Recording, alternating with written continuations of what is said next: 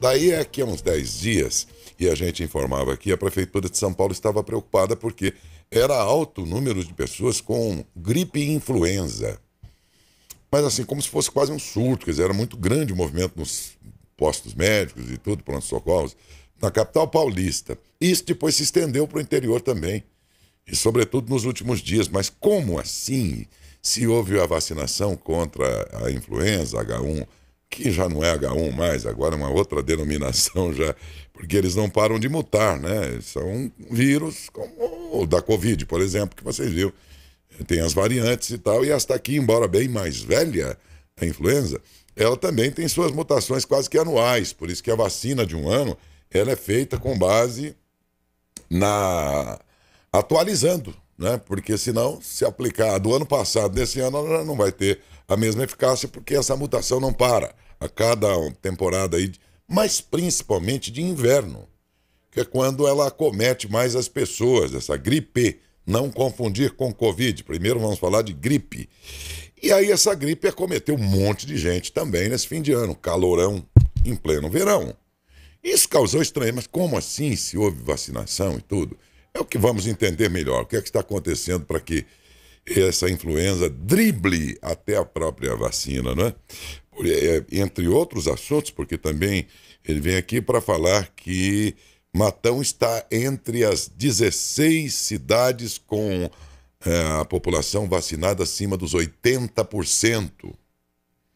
16 cidades, entre elas está Matão, que dá o mesmo que dizer que é uma baita de uma cobertura vacinal. Agora sim, estou falando de Covid. E vem falar da segunda dose da Janssen. Quem tomou a Janssen, que era aquela de uma dose só em vez de duas, já tem que tomar o reforço agora e ela está sendo aplicada nos postos de saúde. Estes e outros assuntos a gente vai tratar agora ao vivo com o Ademir de Souza, secretário municipal de saúde. Bom dia, Ademir. Bom dia, Daércio. Bom dia a toda a equipe aqui da Rádio Saudades FM, todos os telespectadores da TVM, aqueles que nos acompanham pela internet. Prazer estar aqui, Daércio, mais uma vez participando do vosso programa. A satisfação também é nossa, Ademir. Seja bem-vindo, bom dia. E essa história de a gripe influenza, de repente, chamar a atenção em meio a, a pandemia, que não acabou, de Covid. Né? Quando a gente estava com toda a atenção, estamos ainda de olho aí nessas novas variantes, eis que de repente uma gripe centenária bate as portas e diz: estou de cara nova e estou aqui em pleno verão pegando uh, as minhas vítimas, vamos dizer assim, né? O que, que aconteceu para que isso ocorresse? E não no inverno, mas até em pleno verão. É, na verdade, assim, a gente já conviveu com a, com, a, com a influenza durante o ano todo, né? Você deve ter acompanhado também por várias oportunidades, é, embora a gente pedisse é, e falasse com a população que era importantíssimo naquele momento priorizar a vacina da Covid, porque a vacina da Covid é, a Covid era um, um, um, vírus aí que era mortal, né? tanto é que no, aqui em Matão nós perdemos 203 pessoas e passamos aí dos 615 mil mortos no país. Mas, juntamente com essa questão da Covid, com a vacinação da Covid, a gente vinha também fazendo a vacinação da influenza, porque a influenza, todo ano, ela é, é, é alterada, o seu, o seu conteúdo, vamos dizer assim, é, atual vacina da influenza ela traz é, no, seu, no seu conteúdo é, uma aplicação contra três tipos de vírus, né?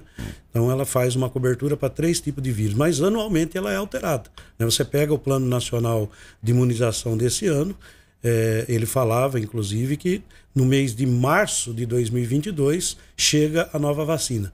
Então, o governo federal comprou, só para que você tenha uma ideia, no início desse ano 2021, 80 milhões de doses da vacina influenza, com, aquela, é, com aqueles três tipos de vírus que eram colocados. Nós temos duas vacinas no país de vacina é, de, é, contra a gripe.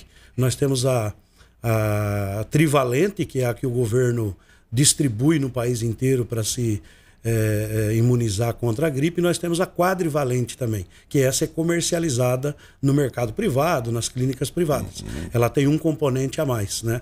Então, o governo federal, ele distribui é, e aí para as secretarias de Estado, de Estado da Saúde, que por sua vez redistribui para os municípios, é, a trivalente. nós recebemos a vacina até o mês de agosto. Você deve se lembrar, a população se lembra, nós começamos por etapas, fizemos primeiro as crianças de zero é, até seis anos, que era obrigatório tomar a vacina. Depois fizemos as pessoas que tinham algum tipo de doença, né, que tinham algum tipo de comorbidade, e logo em seguida abriu também para as pessoas acima de 60 anos.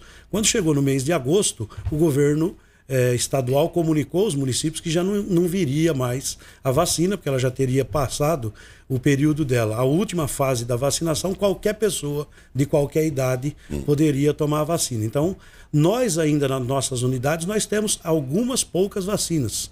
É, desta deste ano, da, desta vacina da influenza, que contém os três tipos de, de, de, de cepa que elas estão tratando. A, a expectativa que se tem, da é que no mês de março, que é a previsão. Até lá já deve sair o calendário de vacinação novamente, e aí o governo deve anunciar a distribuição dessas vacinas.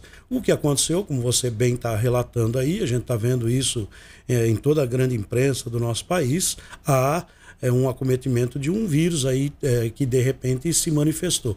É, na medida em que você foi reduzindo a, a, questão da Covid, que ela foi se diminuindo e não que ela não seja ainda o assunto do dia, mas ela deixou de ser o assunto mais importante do dia.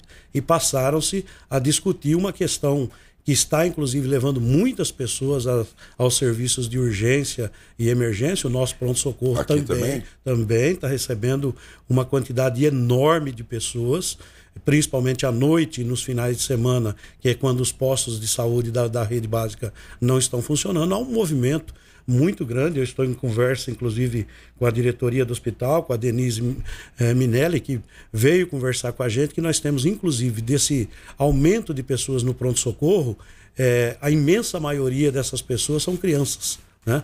Então, crianças que estão passando aí por esse processo. Você pega aí esse tempo louco com esse calorão, essa questão respiratória, isso tem acometido muito mais as crianças. É, então, é, se a gente tem uma realidade nova hoje aí que vai exigir com certeza é, que esse calendário da vacina da influenza, já com uma nova cepa, porque ela já tem é, diferentes variantes, é que o governo deva antecipar para o início do ano que vem, já para janeiro, fevereiro, no máximo, deve haver vacina da gripe de novo disponibilizada.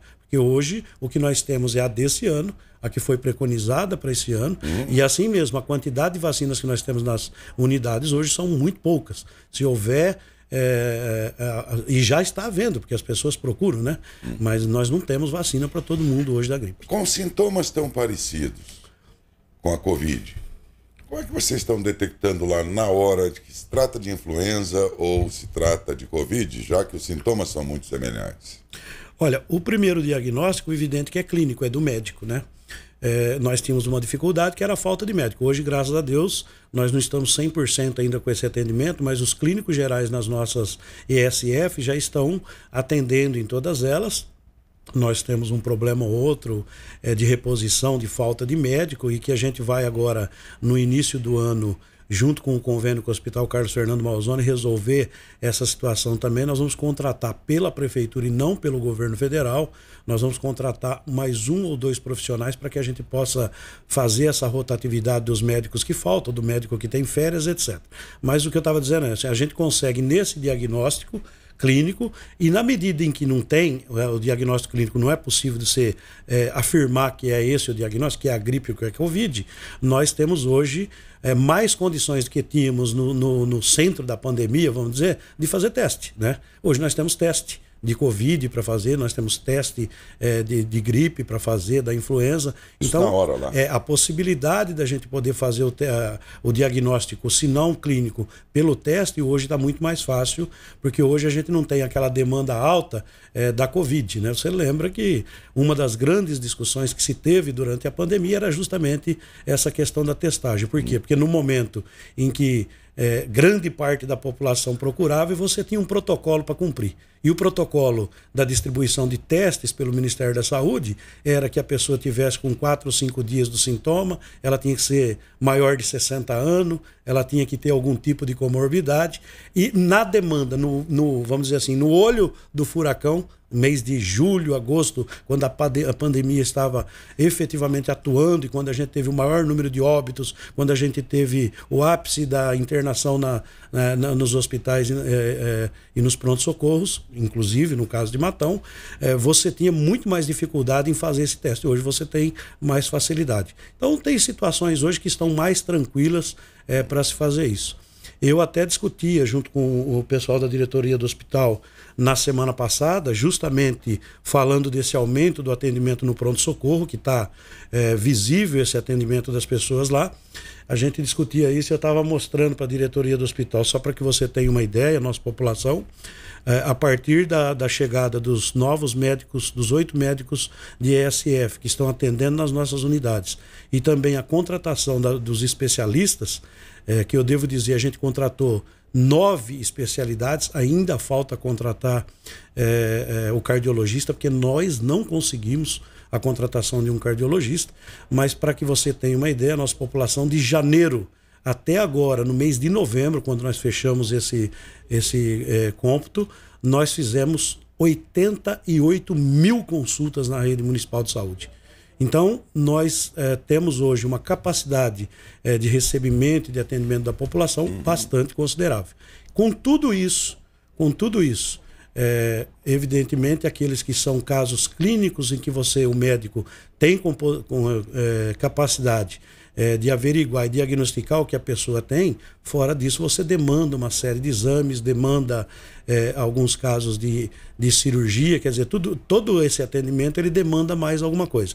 E aí a gente precisa, evidentemente, contar com a parceria do Hospital Carlos Fernando Malzone, que a gente reconhece tem a sua capacidade uhum. de atendimento, é, mas hoje a gente tem, Daércio, é, eu estou esticando a conversa, mas é, voltando a responder para você. Nós temos condições hoje na rede municipal, inclusive com teste, para poder fazer o diagnóstico. O mais fácil fazer o da Covid para descartar definitivamente a Covid. Sim. E que hoje, assim, graças a Deus, ela me parece, ainda que é, existente, ainda que andando por aí, podendo é, contaminar as pessoas, a cepa que está hoje, a mais desconhecida ainda, a Omicron, é, não, não, tem, nós não temos ainda 100% dos detalhes da sua capacidade, mas até agora é, o que se tem de notícia é que ela está relativamente igual à Delta. A Delta né? branda. Ela tem aí um sintoma forte de gripe, ela tem um sintoma, uhum.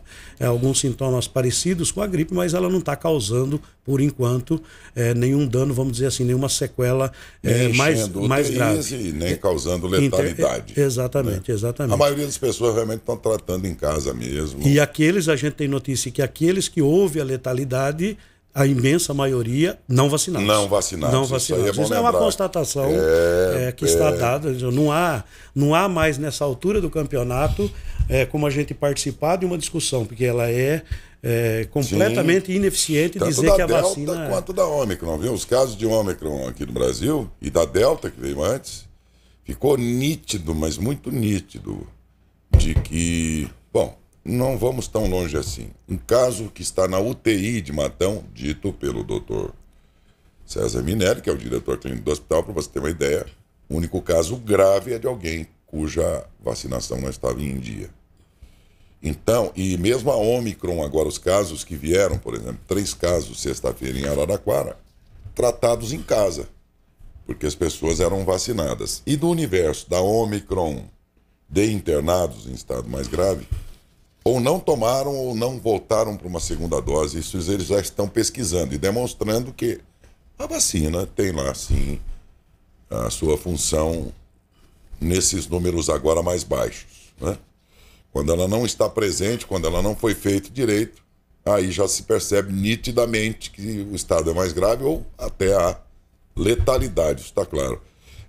É, então, Uh, se as pessoas tiverem, finalmente, pra, só para a gente encerrar esse assunto, vacinação da gripe, sintomas gripais aí e tudo mais, que podem até se confundir com o Covid, mas encontrará no pronto-socorro, então, o atendimento e a testagem para, excluindo possibilidade de saber exatamente se é gripe influenza ou se é Tá certo? É, na, rede, na rede municipal, né? Na rede municipal. Na rede toda, não só no pronto-socorro. É, na rede toda. O hospital, evidente, a gente sempre faz aquela ressalva de que se a gente puder fazer eletivamente, nós temos hoje condição é, de atender a população nas unidades, é que você vá até uma unidade e na medida do possível e aqueles que forem necessários, não havendo diagnóstico clínico, é, se puder fazer, a gente já faz o teste, porque nós temos condição é, para fazer isso. No caso mais urgente, evidentemente, aí você tem que procurar o pronto-socorro, principalmente nos horários noturnos, sábados e domingos, quando as unidades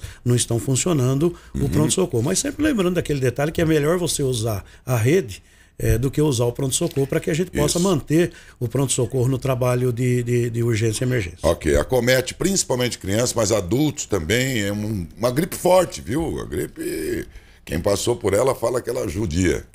É. Mas é gripe, mas tem que ir para o atendimento lá até para saber se é de fato a gripe, não é?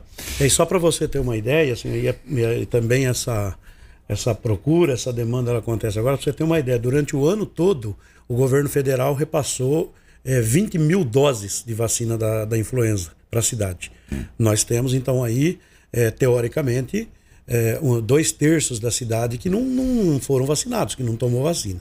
Então, talvez. Gripe, esse, hein? É, esse falando momento, da gripe. Da gripe, é. Nesse momento, é possível que, a, com o acometimento desse surto que tem, é natural que as pessoas vão procurar. Então, hoje, a gente não tem vacina suficiente nas unidades para poder atender toda a população.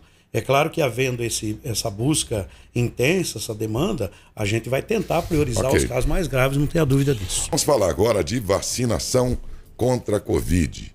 Já na sexta anunciávamos que entre os 16 municípios que mais vacinaram, isso aqui é no país ou no estado, Ademir? É no país. No país. As 16 cidades que passaram dos 80% entre as 16 cidades está Matão, o que foi, inclusive, razão aqui um grande aplauso que nós demos no programa de sexta-feira, porque isso se deveu à intensidade do trabalho de vocês, a gente aplaudia toda a sua equipe, Ademir de secretário, como secretário, toda a sua equipe, e aplaudíamos a população. Ah, tem uns resistentes, ah, tem, tem gente que resiste. Mas a grande maioria entendeu, foi lá, encontrou a vacina, tomou. E isso levou Matão a figurar entre as 16 cidades do país que passaram dos 80%. O que é um belo de um resultado, né? É, sem dúvida, Odaerso. Nós também ficamos muito satisfeitos e, evidentemente, você tem toda a razão. Eu, não, em todas as oportunidades que tenho, eu digo muito obrigado a toda a equipe da Secretaria Municipal da Saúde. O que essas meninas, esses profissionais, essas profissionais das nossas redes básicas, das nossas unidades trabalharam esse ano não é brincadeira. Por quê? Porque, além de todo atendimento, essa, que é verdade, a gente reconhece que no início a gente tinha toda aquela discussão da falta de médicos, né? É, e a gente, com a vinda dos médicos, isso ampliou o aumento, porque você tinha uma demanda reprimida de atendimento é, e de demanda por médicos, e na medida que chegaram esses médicos, vem também todo o trabalho da pandemia. E a pandemia, ela não é só para os usuários do SUS, a pandemia é geral. Né? A pandemia é toda a população. Então, uma gama enorme de pessoas que normalmente não usam o plano de não usam a rede básica de saúde, seja porque tem seu plano de saúde, etc, etc, por uma razão ou outra, mas todas essas pessoas obrigatoriamente foram aos postos de saúde. Por quê? Porque precisava fazer a, a vacinação é, da Covid. E aí, como não era numa dose só, esse trabalho se fez, se refez, vamos dizer assim. Então, e aí a gente fica muito feliz, porque aí o povo de Matão entendeu, entendeu todo o processo. A gente teve, durante o início da vacinação, muitos problemas. Você sabe quantas vezes a gente veio aqui, porque era difícil das pessoas, e você, com a, a o ataque da, da, da pandemia no ar, as pessoas com medo com medo da morte, com medo de, é, de sequelas dessa doença, a demanda era muito grande, então começou a se discutir prioridades. O próprio governo, no plano municipal, de plano nacional de imunização, e o PEI, que é o plano estadual de, de vacinação, começaram a estabelecer critérios para poder atender pessoas. Por quê? Porque você não tinha vacina, então precisava arrumar critérios. Quer dizer, o Plano Nacional de Imunização, que teoricamente era para funcionar pela faixa etária, uhum. você ia começar acima de 60 anos e depois na faixa etária. Essa faixa etária foi mantida acima de 60 anos, mas depois começou a se discutir outros critérios. E aí veio os profissionais da saúde, né? Aí depois vieram os professores, aí depois vieram as pessoas que tinham comorbidade. Quer dizer, isso criou uma série de discussões. Mas, enfim, é, a gente foi passando por todo esse processo e o fato concreto é que nós chegamos é, a 82,82% da população de Matão que tomaram pelo menos uma dose da vacina.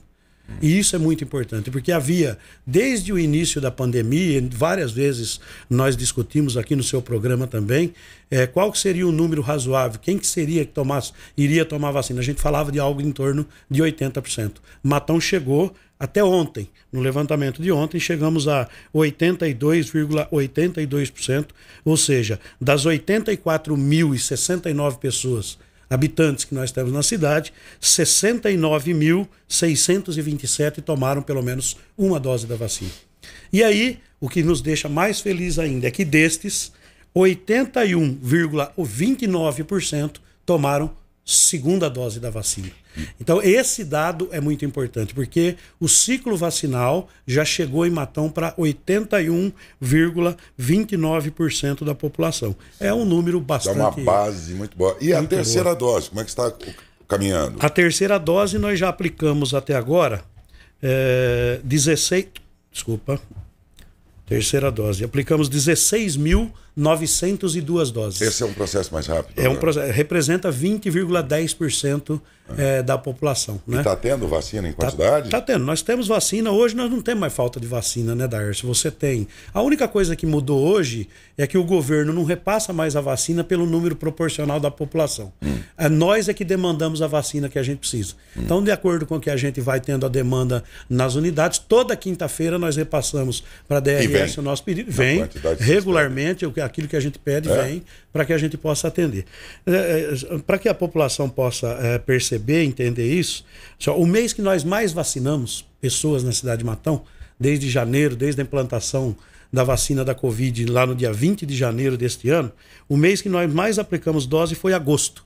Nós vacinamos 28.800 pessoas. É, teve lá, lembra, num único dia 3.400 vacinas. Lembra, é. né? Foi um momento. E bem um momento crítico, hein? Exatamente, exatamente. É. Por quê? Porque a nossa rede, da forma como ela está montada, nós temos 17 unidades é, é, é, de saúde, entre a ESF e as unidades básicas de saúde. Então, para você aplicar 200 vacinas numa unidade dessa, não é um, um bicho de sete cabeças, né? Você tem capacidade ali para poder atender durante oito horas de trabalho esse atendimento. É que tudo isso não era feito, primeiro, porque não tinha vacina para todo mundo. A vacina foi chegando é, aos poucos. E segundo, também, porque as unidades têm os demais serviços que eles uhum. fazem, juntamente com a vacina, tem atendimento médico, tem outros exames para se fazer. Uhum. Mas o importante é que a gente conseguiu cumprir esse calendário. E só para que você tenha uma ideia, é, mês de outubro, apenas 600 pessoas tomaram primeira dose da vacina.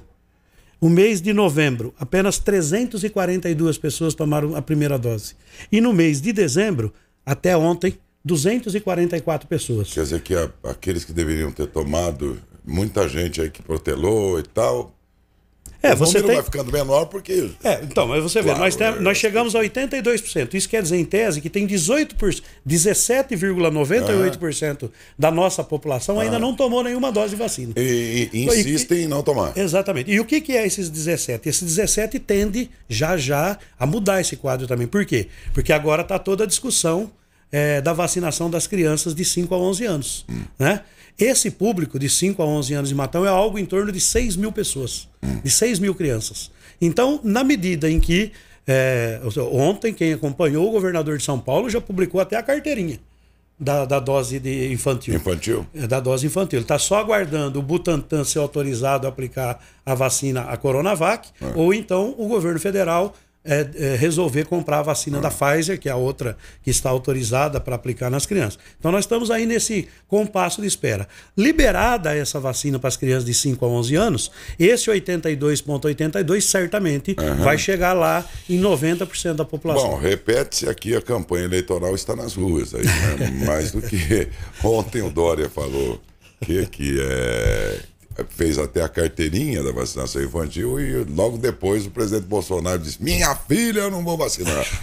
então você vê que está uma campanha eleitoral que não é nova, é, já é. se arrasta há anos, embora as eleições ser, vão acontecer só no ano que vem ainda. É, você sabe que se isso, essa, é, tá aí, mas, essa politização, ela não é, não é, e decididamente se mostrou durante a, pande a pandemia ineficiente. Aliás, eu não sei se você teve a oportunidade, eu assisti Domingo Fantástico que fez uma matéria muito importante sobre, sobre vacinação e trazendo de volta, infelizmente, a triste notícia de que nós já temos sarampo de volta no Brasil, poliomielite de volta no Brasil e que era uma situação que já estava completamente erradicada. Porque não né? tomam é, mais a vacina. Por quê? Porque com o passar dos anos, as pessoas, e a gente precisa se conscientizar disso, né? com o passar dos anos, é, as pessoas viram que está erradicada, elas vão relaxando. Hum. Começa a perder importância a carteira de vacinação, começa a perder a importância de que essa doença, alguém acometido por essa doença vem passear no Brasil, é. se espalha muito rápido. E os vírus adoram esse Nossa. relaxo. Então, né? assim, ó, é, é, é era importante que a gente mantivesse a erradicação do sarampo, que a gente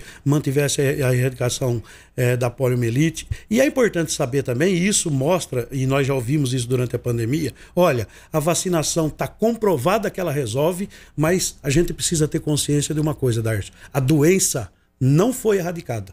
A vacina é. não cura a doença. Então a gente precisa conviver com essa realidade e saber que o ano que vem o vírus vai continuar aí é, permeando as pessoas. E a gente depois, vai precisar tomar a vacina de é, novo. E numa quantidade bem menor e menos letal, vai existir por décadas e décadas. Não vai acabar assim mesmo. Né? Mas dentro de uma condição em que o hospital possa atender, que tenha UTI se eventualmente precisar. O desespero todo desse ano aqui, minha gente, foi o impacto da chegada, esse ano passado, esse impacto da chegada. Não há rede pública nem particular no mundo que, que resista a esse primeiro momento do vírus. Agora, aos poucos, ele vai se ajustando e ajustando a sua existência com, a própria, com os próprios recursos que existem da humanidade. Então, aí você consegue, né? Depois ir, mas vai viver décadas e sabe Deus quando. Vale lembrar que a vacina aqui que nós estávamos falando da HN3N2, que vai lá no seu passado deste, da gripe. Essa gripe de hoje, influenza. Lá atrás, são 100 anos que ela já existe. Só que agora, numa situação que o enfrentamento é mais, mais tranquilo e as consequências também. E mais o importante assim, é a gente trabalhar com a lógica de que ela também tem sequelas, né? Hum. Ela pode agir num, num, tom de gravidade muito menor, porque você tem a vacina, mas Sim. ela pode começar. E hoje você já começa assim, ó. Como você dizia, que disse durante a pandemia o tempo todo, nós fomos obrigados, os nossos cientistas, os nossos profissionais da saúde foram obrigados a trocar o pneu do carro com ele andando. Essa foi a situação é. que, que aconteceu. Essa... Mas agora você já começa a ver, a ciência continua trabalhando. Você já tem notícia, por exemplo, da Pfizer, que desenvolveu um comprimido para começar a tratar a doença. Ontem eu vi um estudo já divulgado no, no, na Secretaria de Estado da Saúde, que já há relatos de que as pessoas que passaram por Covid também está tendo sequelas no coração. Uhum. Então, estudos vão acontecendo agora e você é, vai vendo. A... Agora que nós vamos entender aquilo que o não que deu que é, tempo. Exatamente. Né? Entender a doença. E vai demorar, vai demorar para a gente saber tudo, viu? Então é isso, muito cuidado aí. Está essa discussão agora, vacina, criança não vacina. O presidente ontem disse, não, porque eu não vou vacinar meu filho e tal. Bom, a minha filha e tal. Enfim, tá, atrás disso nós sabemos que existe um grande elemento eleitoral essa aqui é a verdade, cada um, Dória aqui, o outro lá, agora tem o Moro também, enfim. E aí cada um que tome suas decisões. Não vamos nos esquecer que de fato é verdade mesmo. As consequências do Covid nas crianças são bem mais, foram bem mais leves, é verdade mesmo. Né? Então, se fosse só assim, e se o vírus se encerrasse na criança, talvez talvez fizesse sentido discutir esse tipo de coisa nesse momento.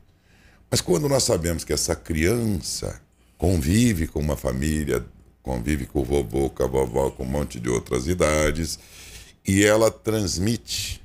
É verdade que nela as consequências são nem sentidas às vezes. Mas não esqueçam que nós estamos falando também de um elemento que compõe a família, por exemplo, e que transmite. E aí? É nesse contexto que a gente tem que ver. Também nos assegurarmos de que, de fato, essa vacina não vai causar nenhum malefício a essa criança. Então nós temos que pensar em tudo isso. Mas pensar com racionalidade, não movidos por opiniões de quem não, não é da ciência. Não é verdade?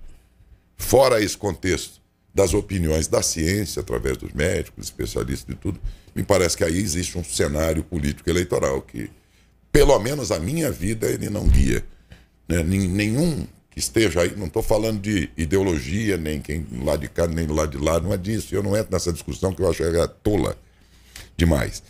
E não é disso que eu estou falando. Estou falando o seguinte: eu não posso. Caramba, se dentro da medicina, quando eu preciso de um cardiologista, eu não vou no pediatra. Por que, que você não vai no pediatra? Porque ele não vai resolver. Ah, é? E por que, que nessa hora eu vou me guiar pela cabeça de quem não é? Que façam nas suas campanhas eleitorais, mas me dou o direito, me reservo o direito de, na eventualidade de tirar alguma dúvida, me guiar por quem é especialista, não é verdade? Até dentro da própria medicina.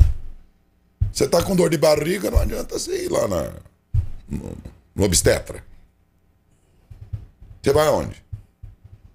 Num gastro. Um médico gastroenterologista. A gente é inteligente para saber disso. Agora, na hora de escolher vacina ou não vacina, eu vou pela opinião científica. Me desculpe. E na hora que eu precisar de uma opinião política, na hora que eu quiser me interessar por ideologias, bom, então eu preciso escutar agora o presidente, preciso escutar o outro lado. Deixa eu ver. Porque aí o assunto é deles. Eles são especialistas em política. Ideologia nem tanto, porque nesse país ideologia já virou balcão de negócio, né? Na minha opinião. Então, aí sim, a hora que me interessar por assunto político, eu vou ouvir todos eles. Mas na hora de decidir a minha saúde, eu vou no médico, pô. E, e melhor, no especialista daquilo que eu preciso. Pra você ter uma ideia de como é isso. Ou você leva o seu filho, a criança aí no caso, a um geriatra. Vai com o seu neto, com uma criança aí da sua família, vai num geriatra. Doutor, vim trazer meu neto pro senhor ver. Ele vai olhar para ele e não. O senhor tem que ir num pediatra. E a gente leva, né? Por acreditar na ciência. Parece que o componente eleitoral, quando ele entra na história, ele chega a desfazer as coisas mais elementares que nós já aprendemos um dia. Tamanha loidura que, que, que, né? que se instalou na cabeça do ser humaninho. É, preciso ir embora agora para já adiantar, agilizar outro, mas preciso perguntar e queria uma resposta breve, mas não podemos ficar sem ela. Segunda dose para quem tomou a Janssen, já está sendo aplicada? Já, nós estamos recebendo ah, também. Normal, né? Normal. Ok, podem procurar. Ela então, não é, não serve para a primeira dose mais, ela só toma na segunda dose, né? Só, ela é né? aplicada na segunda dose okay. agora. É Obrigado, Ademir, bom dia. Eu que agradeço a oportunidade mais uma vez eh, aproveito, se me permita, hum. para desejar a toda a nossa população é, um feliz ano novo, que 2022 possa ser muito melhor do que esse. E eu acho que o recado que fica é, é, que deve permear o próximo ano é acreditar na ciência do jeito que nós estamos falando, né? É, e aos poucos a gente ir, é, ir retomando essa nova realidade, né? Porque ela é existente. Sempre ter na cabeça que o vírus não está é, erradicado, ele existe, ele vai estar aí sempre contaminando alguém, sempre vai ter alguém contaminado. Então, tomar todos os cuidados possíveis, manter aquilo que a gente aprendeu dos cuidados do álcool em gel. É, a gente já pode estar mais junto hoje, mais junto com a família, mais junto com os amigos, uhum. mas manter também os cuidados, uhum. é, isso é muito importante, muito para que a gente possa passar um ano mais feliz de 2022. Desejar a vocês da Rádio Saudades, muito obrigado pelas oportunidades desse ano, dizer que o ano que vem a gente está aí à disposição Se Deus quiser. Muito obrigado, Emir, bom dia.